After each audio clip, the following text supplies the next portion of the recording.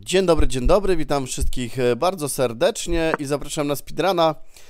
E, Rozgrywam go z, ze stolicy Czech, czyli z Pragi. Od jutra e, rozpoczną się analizy z turnieju, gdzie rozpoczynam swoje zmagania. Zerknę tylko tutaj, jaki ranking, ile partii rozegrał mój przeciwnik, żeby wiedzieć z kim mam do czynienia. 4,5 tysiąca partii, więc wygląda to w porządku. Ok, mm, skoczek na C3, skoczek F6, skoczek F3, mamy gambit hetmański, e, prawdopodobnie gambit hetmański, jeszcze może być zagranie na przykład C5, C6, ok. E, możemy zagrać goniec G5, a będę to praktykował, czyli mm, staramy się zagrać, o właśnie, staramy, staraliśmy się zagrać ostry wariant botwinika, po posunięciu E3 może być różnie. Skoczek z B na D7, ok. Tak, również można. E, No i myślę, że mm, w tym układzie spokojny ruch Hetman C2 e, powinien dać tutaj pozycje, które e, lubię. Pilnujemy przede wszystkim pola E4 skoczkiem. Przede wszystkim też możemy zagrać wieża D1 ze, z fajnym tutaj takim ułożeniem tej wieży po linii D. Mm, Jest H6, ok. Po tym ruchu Prawdopodobnie goniec H4, tak też zrobimy. I wygląda to e, przyzwoicie, ciekawie, e, normalnie przede wszystkim. E, wiemy, wiem, że jestem w domu, czyli jestem przy swojej pozycji i wieża D1. Bardzo długo zwlekam ze zrobieniem roszady. To jest też takie typowe w zasadzie w hetmańskim. Czekam na wybicie pionka na C4, co nie musi nastąpić. Może nastąpić na przykład ruch B6, wtedy trzeba się zastanowić, czy nie zbić tu. W ogóle wieża D1 ma fajną funkcję, bo troszeczkę tak może przeszkadzać wizualnie przeciwnikowi w zagraniu na przykład ruchu C5, bo ona też e, fajnie zerka w hetmana. Tutaj jesteśmy na związaniu, więc jest fajnie. E, oczywiście skoczek może gdzieś tam zagrać, to to e, będzie trzask. I po tym na przykład wybiciu, hetman wybije, ja wybiję tutaj, wybicie pionkiem, wybicie hetmanem i jeżeli nastąpi szach, to jest fajna wieża D2 i zobaczcie, że jest obrona pionka, więc ta wieża też fajne funkcje może spełniać po ewentualnych takich dzikich ruchach, powiedzmy, przeciwnika. No i gość się, się zastanawia, e, więc dobrze. Y, on też myśli, jak tutaj to wszystko rozwinąć. Nie wiem, czy on się spotkał z tym posunięciem, możliwe. Skoczek E8 wygląda podejrzanie, to znaczy wygląda tak e, w sumie jak wygląda. Teraz trzeba się po, te- teraz trzeba się zastanowić, czy wybić, czy odejść. Ja jestem za tym, żeby jednak e, za dużo figur nie wymieniać, gdy mamy, e, gdy budujemy przewagę mm, w centrum, jest możliwość zagrania E4. Mm, Tyle, że tam zawsze jakiś hetman może wlecieć, dać szacha. Skoczek na E5 wygląda też przyzwoicie. No tak, skoczek E5 wygląda chyba ok. E, Po wybiciu wybijam pionkiem. To, że zablokuję gońca, to jest mały pikuś. Otwiera mi się dzięki temu wieża. Poza tym on też będzie chciał się e, przedostać pionkiem do góry. Zawsze bicie w przylocie istnieje. Mm, No i e, teraz kulturalnie będę mógł sobie zagrać goniec C2 czy goniec D3, zaraz pomyślę gdzie e, i zrobić roszadę, zakończyć rozwój, potem ewentualnie F4. E, Zagram goniec na D3. Bicie nie wchodzi w grę, bo jest goniec na H7 e, i zwróćcie uwagę, że właśnie on będzie musiał przez F6 coś takiego grać. E, Oczywiście ja wtedy sobie to walnę i jestem w domu. No, wieża jest otwarta, mogę podważać centrum poprzez E4. Pojawiają się możliwości w każdym razie i to jest fajne. E, Król H8, podejrzany ruch. Oczywiście y, jak tutaj, no to wtedy tutaj. E, Robię roszadę i rozwój zakończony. Uważam, że białe mają e, bardzo, bardzo dobrą pozycję. E, Gońce są nieco zablokowane. E, Moje figury są lepsze. Zobaczcie, wszystkie figury przeciwnika w tym układzie stoją na ósmej linii. To nie może świadczyć o dobrej pozycji, ale oczywiście wykorzystać ten element to też jest jakiegoś rodzaju sztuka. No i teraz trzeba się zastanowić, e, czy F5 zostaje i gram jakieś F4 mocne, ale nie, tu nie będę miał przełomu, nie lubię czegoś takiego, takich pozostałości. Bić trzeba, według mnie, otwierać pozycję, on może to wybić. Zastanawiające będzie bicie z F na G3, takie nietypowe, mm, bo jeszcze mi tutaj wychodzi po głowie coś takiego jak E4, on tak, tak i ta otwarta linia może mieć jakiś tam sens w sumie. A zbił hetmanem, a to w ogóle mnie zaskoczył przeciwnik. Tym bardziej teraz po tym ruchu będę mógł wybić tym E4 prawdopodobnie, tak, E4 będzie tutaj dobrym zagraniem. E, trzeba rozwijać się w tym temacie. Jeżeli nastąpi D4, skoczek E2, jeżeli tu to się zastanowię nad wybiciem pionkiem F, ale możliwe, że tym pionkiem, żeby zagrać F4 i rozbijać tego pionka, który zagra na E5. O! E, no to teraz zdobywam pionka, chyba więcej. Um, chwila. Bije tu. On, e, aha, on może mi dać szacha, ok. On może mi dać szacha, więc to już e, niweczy moje plany. Ale zaraz, e, tutaj szach, tu. I on musi coś zrobić, wejdzie skoczkiem. Dobra. Nie dam mu tej przyjemności, zbiję jednak spokojnie pionkiem z H. E, bo też jest inna opcja, bo jeżeli zagra D4, skoczek E2, to jest bardzo wygodne i ruch E5 prawdopodobnie.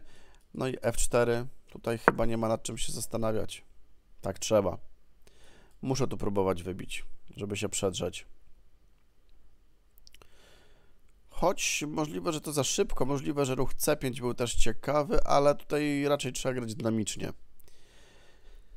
Zastanawiam się, czy ja przeciwnikowi nie dałem pograć w tym momencie. Jeszcze goniec mi się ustawił na białym polu, blokowany przez pionki, no ale tutaj zaraz się to e, wszystko rozstrzygnie po wybiciu. O, zobaczcie, nawet mogę centrum zbudować. Skorzystam z tej okazji i mam ruch za chwilę E5. Więc to zadziałało dobrze. Tutaj przeciwnik musiał zagrać konkretnie. Dobra, jest opcja wybicia. Proszę bardzo. Ruch E5 jest to ruch, który gram z zamkniętymi oczami. E, tutaj nawet się nie zastanawiam. Hetman coś tu próbuje, ale to tutaj chyba nie, nie będzie jakoś tam rewelacyjnie mnie tutaj e, gasił. Zagramy tak, mm, żeby zagrać na przykład tu.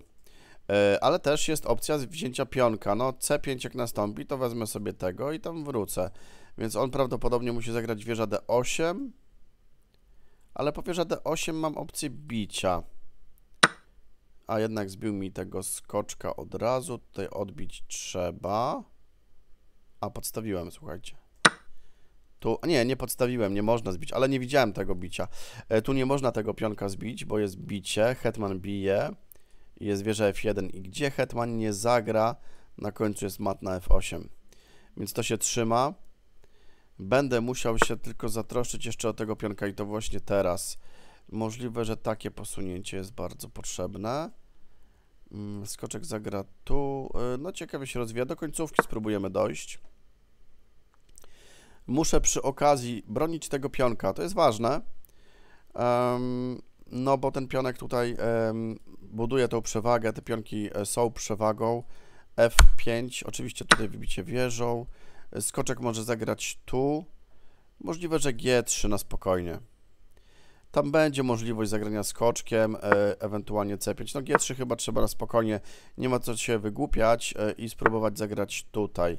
E, gram tutaj dokładnie i jeżeli C5, no to biję tego pionka, potem wrócę. E, ten będzie na e, powiedzmy prawie wieczność na D4. Oczywiście będę miał tam opcje przełomowe wtedy, więc też nie do końca. Tutaj też mam przewagę. Muszę zwracać też na posunięcie G5. F5 działa od razu. Skoczek tutaj. Możliwe, że taki ruch jest dobry. Możliwe, że tutaj ten ruch jest dobry trochę paraliżujący, mam nadzieję, przeciwnika i nie dopuszcza prze, przede wszystkim do ruchu e, G5, a mam możliwość zbicia teraz e, na czysto pionka. Chyba taki ruch wygrywa szybko, wygrywa, jeszcze tutaj jest opcja, tu zbić nie mogę. A no właśnie, e, poczekajcie. Tak, tak, bo on teraz będzie miał tutaj możliwość. Możliwe, że trzeba wrócić, żeby nie dopuścić do C5. Bo ten goniec też pilnował dobrze F3. Tak, tak. Tak, i on mi zagra... Aha, tak, tak, i może E6. On da szacha, ja tu. Ja tam. Dobra, tutaj trzeba pomyśleć, trzeba się zastanowić. Dosyć ciekawie to wyszło, mm, wygląda to ciekawie i według mnie jest to ciekawe. Teraz tak, chwileczkę. Bo jeszcze chodzi mi po głowie ruch B4, żeby przytrzymać, ale on zagra tak, więc nie przytrzymam tego za dobrze. Mogę zawsze powtórzyć i zobaczyć, co on zrobi, bo na przykład on zagra tak, z powrotem ja zagram tu i on wtedy zagra D3. A, taki jesteś, spryciarz. F5, skoczek G5. Król G2 i C5. No i niestety E6. Tam w sumie E7 będzie bardzo groźny. Taki ruch jest niegroźny. E7. Dobra, idę na to. Idę na to konsekwentnie. Jest goniec G, G6, trzeba iść na to. Skoczek wleciał tu. Jeszcze się zastanawiam nad tym, ale nie. Król G2, e, bo tutaj teraz jest opcja, on musi zagrać C5. Ok, on musi zagrać C5, ale ruch E6 wygrywa partię. To znaczy wygrywa jakość prawdopodobnie, bo y, jak on zagra C5, ja E6, on odejdzie gdzieś tam wieżą, ja zagram wieża E1. No i gram tak, bo taki ruch jest niestraszny teraz, bo jest ruch E7, grożą widełki, jest bezpośrednia groźba. Goniec działa tutaj świetnie z, pion z pionkiem. Chyba cię mam, drogi przyjacielu. E, jeszcze teraz e, a propos dokładności, czy to wierzą na E2, czy to wierzą na E1, czy jest jakaś różnica w tej sytuacji? Prawdopodobnie jest. E, teraz tak, bo skoczek jak wejdzie, mm, ale nie wejdzie teraz. E, dobra, gramy sobie wieżą z D2 na E2. Chodzi o to, że i tak ten ruch grozi, ale też jeszcze bardziej wieża wzmacnia marsz pionka na pole E8. E, I tutaj Cię mam, drogi przyjacielu. Dokładnie. Tutaj Cię mam. Prawdopodobnie jest koniec partii. E7. Dokładnie. Idę ruch E7. Aha! On ma wieża E8. Po prostu jakość.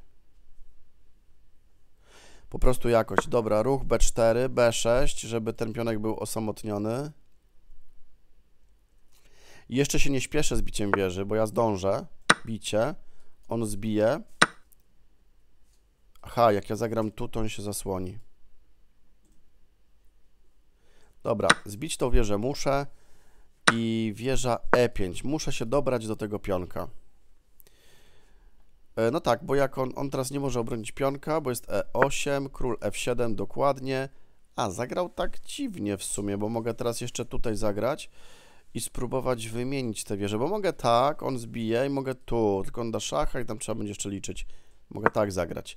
On może iść D3, pełna zgoda, ale ja wtedy mogę tak zagrać i na tego pionka się zaczaić.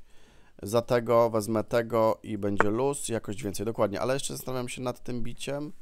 On pójdzie tu, on zbije, znaczy ja pójdę tak, on zbije, ja tu. Aha, na końcu są widełki. Dobra, więc wieża na D5. Zaopiekuję, zaopiekuję się tym pionkiem. No i prawdopodobnie nastąpi wymiana. Dokładnie, wymieniać trzeba. I pionek D3. Takiego pionka trzeba zjeść od razu. Tu myślę, że G4 obronie. Oczywiście wejście skoczka jest kompletnie niegroźne. E, pff, tu wygrywa w zasadzie chyba wszystko. Skoczek tutaj a no to mam jeszcze pięknego szacha i zdejmuję pionka. On weźmie tego, trzeba na, na to mu pozwolić. Rzecz jasna. I wieża C7 atakuje kolejne pionki. Dobra, to jest proste. Po prostu moja wieża z pionkiem jest szybka, ale dla pewności jeszcze wezmę pionka z G7, żeby nie było niespodzianek. Bo zdwojone pionki ze skoczkiem mogą być tutaj utrapieniem. E, myślę, że najprościej tak, na kolejnego pionka wieża z daleka będzie swobodnie sobie grała e, i tyle. E, ok. Aha, król się zbliży. Możliwe, że trzeba tak grać, ale nie no, zaraz. Wezmę tu, on tu, ja wezmę skoczkę, on weźmie, ja tu, on bije, ja tu, on tu. Nie, to remis wtedy. Um, chwila, chwila, chwila, chwila. W sumie to jeszcze nie jest takie oczywiste. Tu, tu. To nie jest takie oczywiste. Jeszcze chwileczkę. O, właśnie. To nie jest takie proste. Możliwe, że straciłem czas. Możliwe, że trzeba było pionkiem zasuwać. No tak, mój król jest bez akcji. On powinien gdzieś tam się znajdować. Yy, chwilka. Jak to rozegrać jeszcze?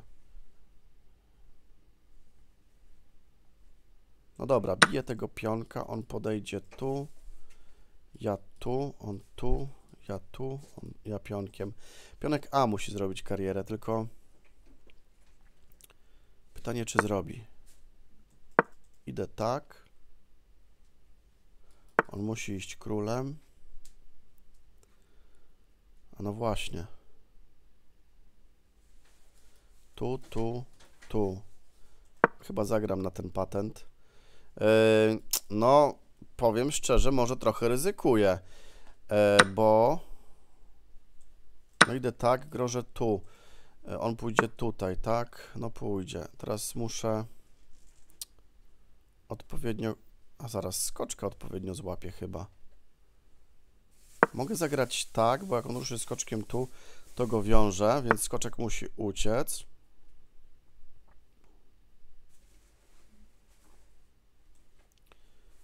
Chyba tak, muszę odciąć króla i zasuwać swoim królem. Cóż za końcówka ciekawa.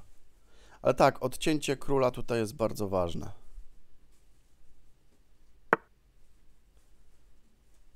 Chyba zmierzam królem blisko. Tutaj, tutaj. Dobra, powinno się zgadzać. Też taka nietypowa troszeczkę końcówka. Wiadomo, że walka jeszcze trwa. Dobra, zmierzam. Tak, tak. Będę chyba królem blisko, bo jak tutaj to A3 i król już będzie odpowiednio blisko.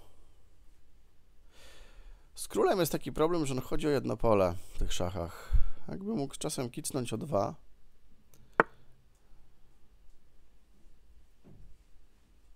No dobra, tak. On może dać szacha, ja tu. A, no to odpowiednio zagram teraz wieżą, odetnę mu drogę, zagram tu i będę tempował.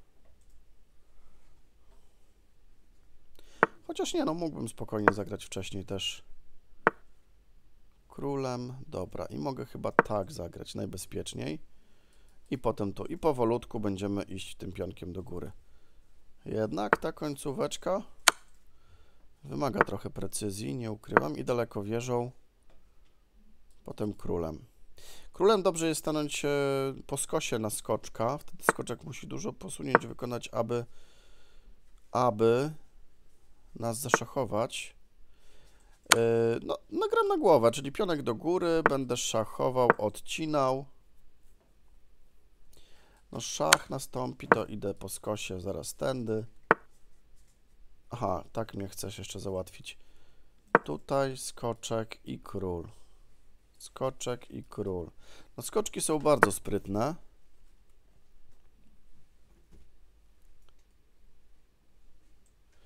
Dajmy szacha, podejdę królem. Zaatakujesz? To wtedy tu.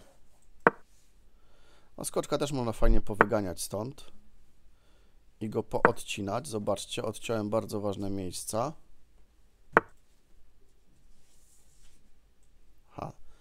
Też mogę chyba tak zagrać. On da szacha, ja podejdę tu. Skoczek będzie praktycznie wyłączony z gry. On może też oczywiście tutaj, ale wtedy jest szach. Odcinamy króla daleko. Ten skoczek może mieć zaraz problem, słuchajcie. Mam nadzieję. Nie, to chyba teraz bliżej, bo teraz grozi tak jeszcze odcięcie króla. Bardzo wysoko odcinamy króla. I chyba tutaj na mata chcemy zagrać. Teraz pionek do góry. Tak, powinno się to wszystko zgadzać. Skoczek tu, możemy dać szacha. Tak patrzę, czy skoczek tutaj nie wyrządzi krzywdy jakiejś. Tutaj, tu. Szacha nie widzę, idę tak chyba i wygrywam. Raczej tak, bo teraz grozi A7.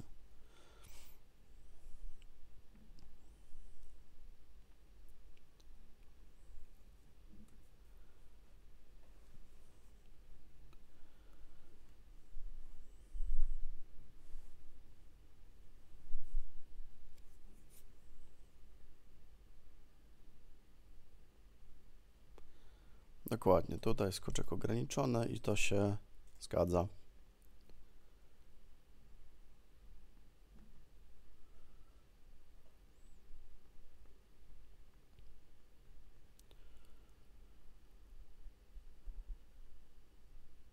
No i mamy to, moi drodzy. E, dziękuję Wam za dzisiaj. 2389. Dziś o 15 rusza pierwsza runda e, Open Praga. Będę tam walczył. I zobaczymy, jak to się wszystko potoczy. Dawno nie grałem klasycznego turnieju. Dziękuję Wam serdecznie za uwagę i do zobaczenia w analizach od jutra. E, trzymajcie się, cześć.